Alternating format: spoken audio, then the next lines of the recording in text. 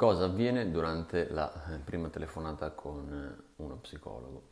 Mm, la telefonata è il primo contatto in assoluto che solitamente avviene tra eh, paziente e psicoterapeuta. Può essere che il paziente mm, magari compili un form sul sito piuttosto che invii un'email, invii un messaggio, mm, questa cosa capita sempre più di frequente, però il primo contatto vero, quello che eh, già ha un primo fine terapeutico, è proprio la telefonata. Io personalmente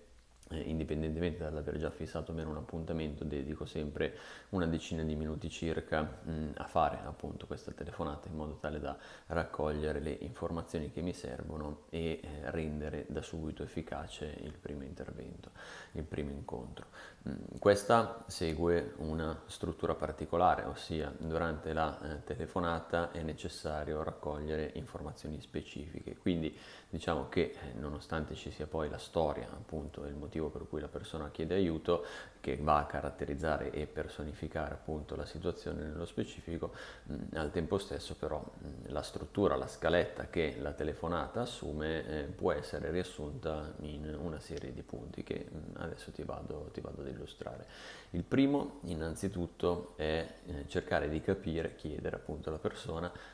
qual è il motivo per cui eh, richiede una consulenza, per cui richiede un appuntamento, quindi eh, cosa sta attraversando, qual è eh, la difficoltà che si trova a vivere, cos'è che l'ha portata ad un certo punto della sua vita ad alzare il telefono e chiedere aiuto ad un professionista. Mm, molte persone mh, mm, si trovano magari spiazzate, eh, alcune possono trovarsi in difficoltà legate magari eh, all'imbarazzo di parlare con una persona che non conoscono, che eh, appunto non hanno mai visto di persona e eh, altre invece si trovano un pochino più a loro agio, riescono da subito ad esprimere Mm, qual è il loro disagio. Di fatto questo dipende sia dalle caratteristiche personali appunto mm, di chi chiede aiuto, ma al tempo stesso anche eh, dalla capacità dello psicologo di mettere già a proprio agio la persona dall'altro capo del telefono. Al tempo stesso c'è una variabile, una componente che è anche legata alla difficoltà appunto che la persona sta vivendo e quindi ci possono essere delle difficoltà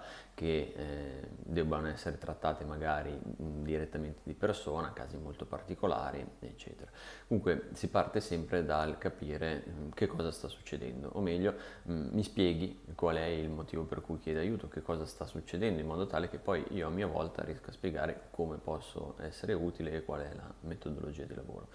Mm, il secondo step, il secondo passaggio fondamentale è quello di eh, chiedere tutte quelle informazioni che al di là del problema specifico, quindi del motivo per cui la persona chiede eh, una consulenza, mm, caratterizzano e danno tutta una serie di informazioni sulla persona stessa, ad esempio eh, quanti anni ha, mm, se è sposata, se è single, eccetera, il lavoro che svolge, se ha figli, eccetera, eccetera, eccetera. Quindi tutte quelle domande che in un qualche modo permettono di andare a mh, comporre e inserire dettagli ed informazioni utili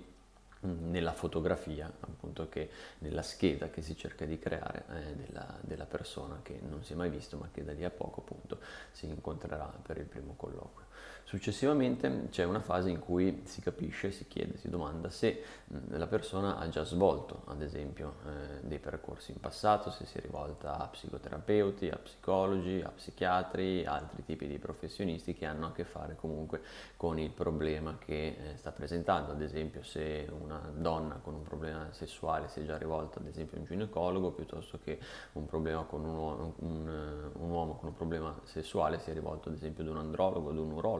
quindi capire eh, qual è stato eh, l'iter eh, dei tentativi di cura appunto che la persona ha agito, eh, situazione specifica. In ultimo c'è la spiegazione, mh, mm, lato mio, quindi da, da, da, parte mia, di come funziona il lavoro con me, di quali sono le caratteristiche appunto eh, che lo costituiscono e di quali possono essere i tempi, quindi solitamente ci si concentra sulla fase di consultazione che ho già spiegato in diversi video, in cui mh, mm, viene fatto il punto su cosa sta succedendo, su quali sono le cause e su cosa può essere fatto per poter risolvere il problema. Questa è la struttura che solitamente viene data alla telefonata ed è mh, dal mio punto di vista una componente molto molto importante per riuscire ad innescare subito una relazione con la persona. Innanzitutto per quanto riguarda dal punto di vista del terapeuta la possibilità di ottenere delle informazioni utili che mh, permettono già di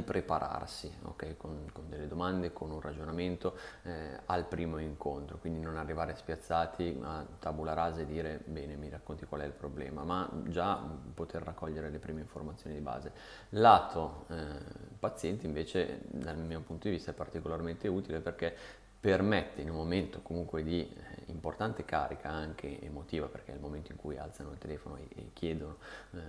un aiuto, di in un qualche modo essere accolti, quindi esprimere qual è la, la loro difficoltà, già poter verbalizzare appunto il problema. Questa è la struttura che viene data alla telefonata, che è un elemento fondamentale sempre eh, per quanto riguarda la psicoterapia, è il primo passo appunto all'interno della stanza di terapia.